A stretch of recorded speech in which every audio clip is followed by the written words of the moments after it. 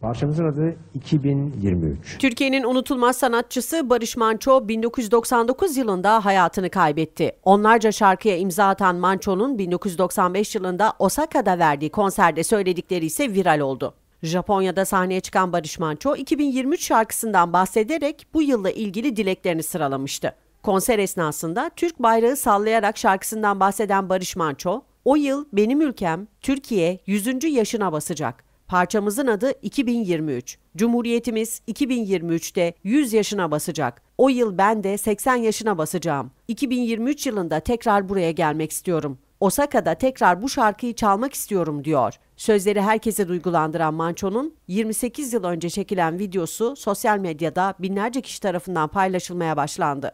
Parçamızın adı 2023. Yokunun adı 2023です。Yani 2023 yılından başlıyorum tabii. えーもちろん2023年ということを意味しているんです。O yıl benim ülkem Türkiye Cumhuriyeti 100 yaşına basacak. えーその2023という年はトルコ共和国が100年を迎える年なんです。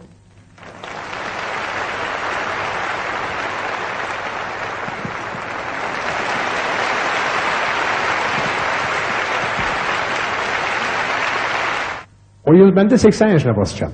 その時に私も80歳になっているんです。